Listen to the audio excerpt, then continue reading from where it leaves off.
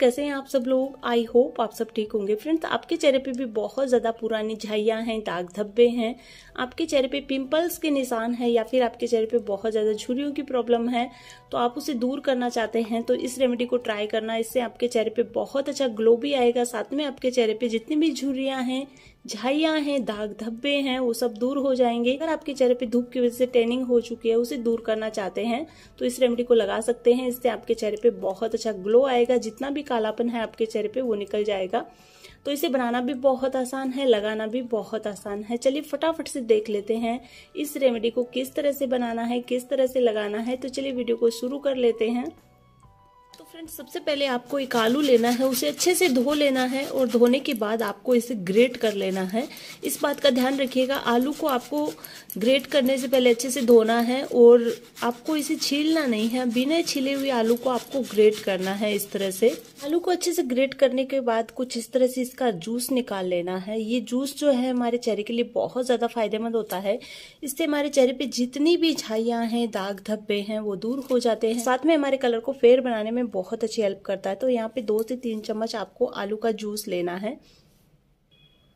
आलू का रस जो है निकालने के बाद थोड़ी देर के लिए इसे ऐसे ही छोड़ देना है। जब थोड़ी देर हो जाए तो आपको क्या करना है? आपको इस पानी को निकाल देना है, जो आप देख सकते हैं थोड़ा सा पानी है ऊपर का, इसको निकाल देना है। तो मैं यहाँ पे ऊपर का जो पानी है, उसे निकाल रही हूँ। कुछ इस तरह से आपको निकाल देना सकते हैं, कुछ इस तरह से नीचे जो व्हाइट रह जाता है, आपको उसी को यूज़ करना है। आलू का जो पानी है ऊपर का, उसे निकाल के साइड में करना है और नीचे का इस तरह से रखना है। इसके अंदर जो हम जितने भी इंग्रेडिएंट्स मिलाएँगे, वो हमारे चेहरे के लिए बहुत ज़्यादा फ़ायदेमंद होता है और इससे हमारे चेहरे पे जितनी भी झाइयाँ दाग धब्बे हैं, वो दूर हो जाते हैं। अब इस रेमेडी को बनाने के लिए मैं दूसरा इंग्रेडिएंट्स जो ले रही हूँ, वो है ऑरेंज पील पाउडर आप चाहें तो इसे ऑनलाइन खरीद सकते हैं या फिर आप इसे घर पर भी बना सकते हैं। ये जो ऑरेंज पील पाउडर है हमारे चेहरे के लिए बहुत ज़्यादा फ़ायदेमंद होता है। इससे हमारे चेहरे पे जितनी भी छाइयाँ दाग धब्बे हैं, वो दूर हो जाते हैं। जो संतरे आते हैं, उनके छिलकों को पाउडर बना के तैयार करना है और ये हमारे चेहरे के लिए बहुत ज़्यादा अच्छा होता है। मैंने इसे घर पर बनाया है।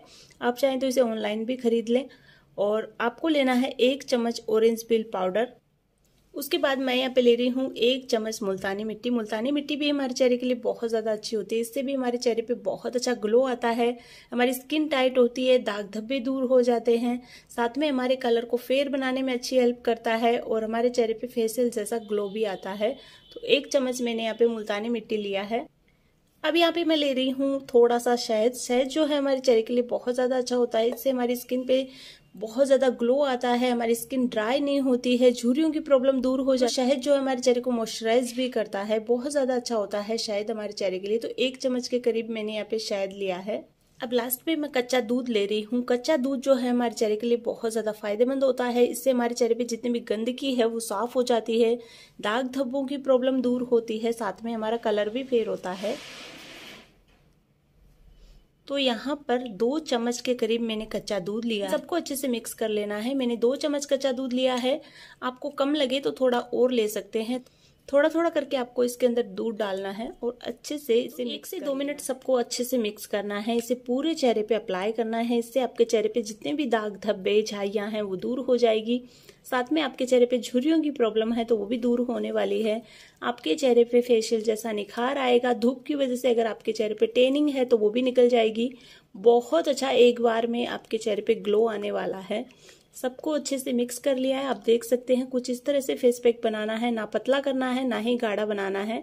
आपको इसे हफ़्ते में कम से कम तीन बार यूज़ करना है। अगर अच्छा रिज़ल्ट चाहिए तो आपको हफ़्ते में तीन बार लगाना है। और इसे लगाने से आप देखेंगे कि आपके चेहरे पे धीरे धीरे फ़र्क आने लगेगा।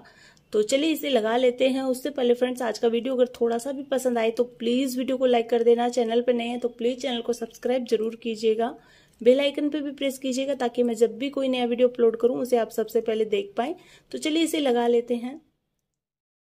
तो आपको क्या करना है? इस फेस पैक को पूरे चेहरे पे अच्छे से लगा लेना है। इससे आपके चेहरे पे एक तो ग्लो आएगा, साथ में आपकी स्किन जो है ना, बहुत अच्छी हो जाएगी। आपके चेहरे पे जितने भी दाग धब्बे, झाइयाँ, झुरियाँ हैं, वो सब ठीक होने वाली है।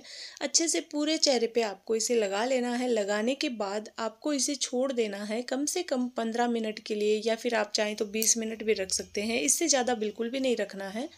उसके बाद अपने चेहरे को धो लेना है ठंडे पानी से।